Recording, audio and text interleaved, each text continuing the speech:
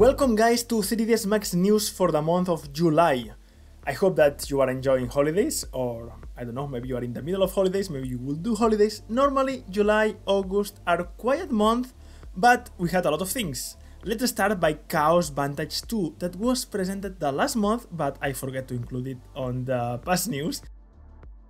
So here it is, Chaos presented Vantage 2, it's a real-time render engine from Chaos now it comes with a scene states that it allows you to assign different light setups, materials, object transformations, and post-process to look different from each camera. Then there is as well a new scatter to populate your scenes with a simple solution, there's support for deforming meshes, and you can add render elements to your output for more control in post-production. Um, much more things like support for multiple UV channels, support for mesh lights, orthographic cameras, improvements on the UI, and way more. As we said, Chaos Vantage also adds support to Anima characters, and related to that, the other big news is that Chaos bought AXYZ company. AXYZ are the creators of Anima and all these scans of people that was very very popular in 3ds Max. It has a software to create crowds and yeah, all the library of characters in 3ds Max. Let's see the plans that they have Chaos now with this huge suite of animated characters. Can be interesting to see.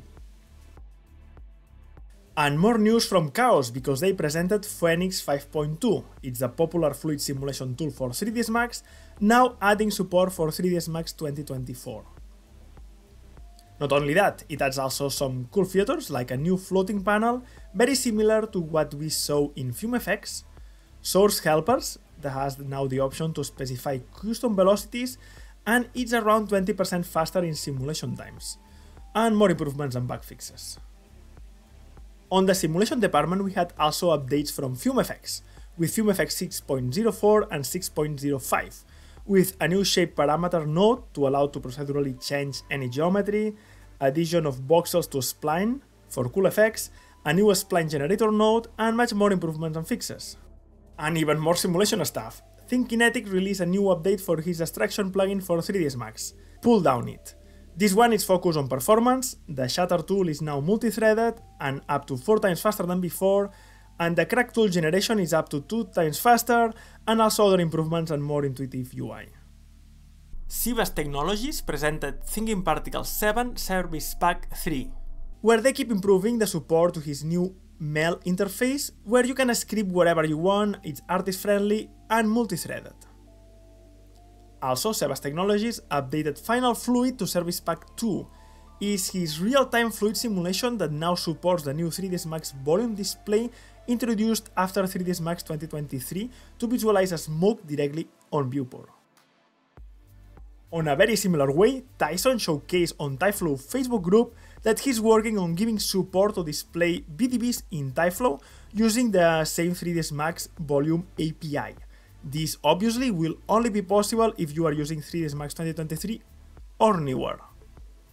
And talking about Tyflow, on my Patreon this month, I covered the request from some patrons about how to achieve a very cool organic decomposition posted by another artist that we will see later. And I go over the basics in how to approach a shot like this and how to create more or less this scene. Also, on my Patreon this month, exclusive for my Patreons, I showcase a very simple but very fast and effective way to rig the rig tool to get even more control and... So yeah, a very simple way to create a rig for the rig tool. And we have some free stuff. Alex Nguyen shared for free this script for easily uh, switch proxy modes in V-Ray, Corona and F-Storm that can be quite useful when you are dealing with a lot of proxies in your scene. You switch from high res to box, uh, box mode or to point data and yeah, one simple click. Then we have from 3D R&D that he shared as well another free script. It's not a script, it's an MCG tool that will create electrical power sockets. Uh, so you can choose from 28 different types of power sockets and switches and you can align them together and stitch them together. Pretty useful. And Michael Shilidiarik is sharing for free how he created this cliff procedurally using Tyflow in Tyflow Facebook group. You have a description and you can download for free the scene. Pretty cool. And our favorite section, 3ds Max is only for archviz. And as I told you, we have from Chuvabak this amazing animation that he did for a short movie. We can see how he's using 3ds Max with Tyflow for this amazing and gory effect,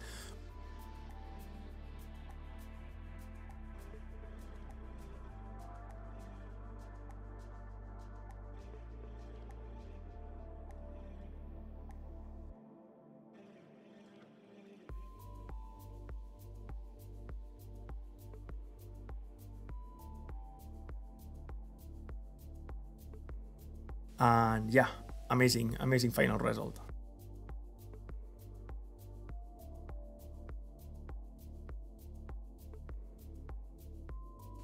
For the decaying elements, Nayan Bodawala is also doing some research using Tyflow VDBs, and you can see on Tyflow group where he used VDBs and rendering V-Ray 6 beta for this very interesting result.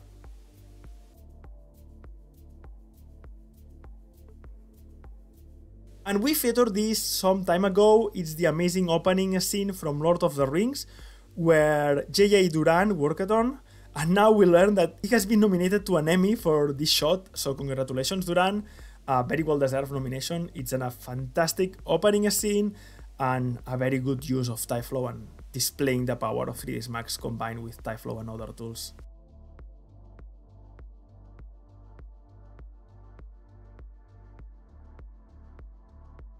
And one more time, another amazing making of from Steffen Hampel. I think that Steffen has been on this show for quite some month. This time it's an environment with ruins, done in 3ds Max and V-Ray, and you can see Forest Pack in action on viewport.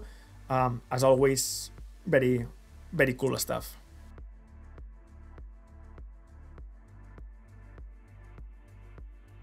And this one for me is what 3ds Max is all about, hacking. Pedro El Machado showcased on FStorm Render Facebook group this cool simulation done a year ago and it's done in 3ds Max 2016 and Particle Flow, rendered in FStorm. And you will ask, what's very cool about that? I mean, other than looks pretty amazing, and it's that it's done in Particle Flow, and it's not only that it's only done in Particle Flow, is that there is no smoke simulation at all. And as he described in the comments, it's also the form of spheres animated using particle flow, adding a volumetric modifier in top, and playing with the opacity, that's all. I found brilliant when instead of complicating your life, Houdini, uh, you can create very cool animations with simple tools. It's the artists that make it look great, so who will think that simply some spheres animated with particle flow, you will be able to create this amazing explosion. So, super clever, and it's what this 3ds Max about. Hacking some simple tools, creating amazing results. So Pedro, amazing stuff.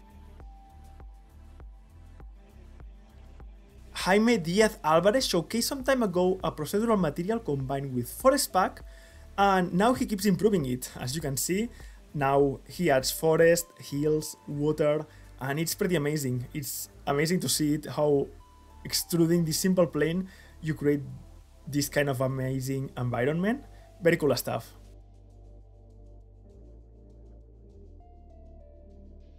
And if you want to learn and to train more with 3ds Max and other tools this month, we are quite covered.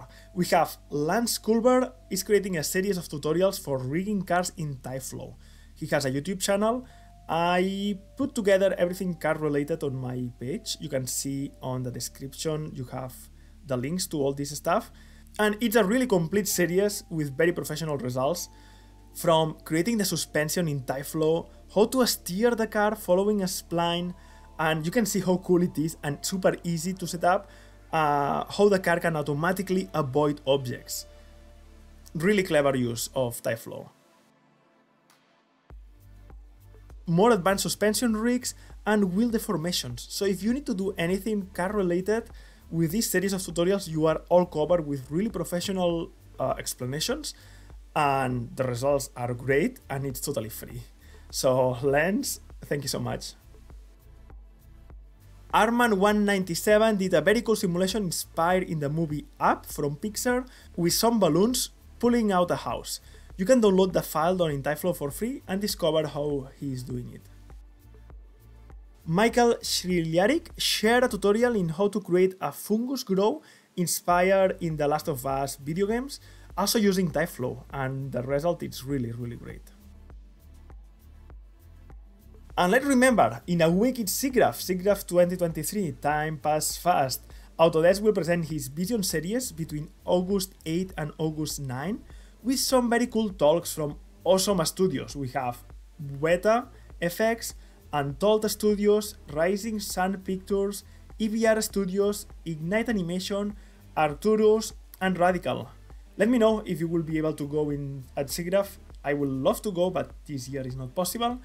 Uh, it's always great to be around interesting people and these amazing talks. And that's all for this month, guys. I hope that you enjoy it. If you like it, remember, give it a like, share it with your friends, give a comment. I love comments. And as always, thanks a lot to all my patrons that help me a ton to keep doing these videos. Take some time. So thank you a lot, guys, and see you soon. Bye.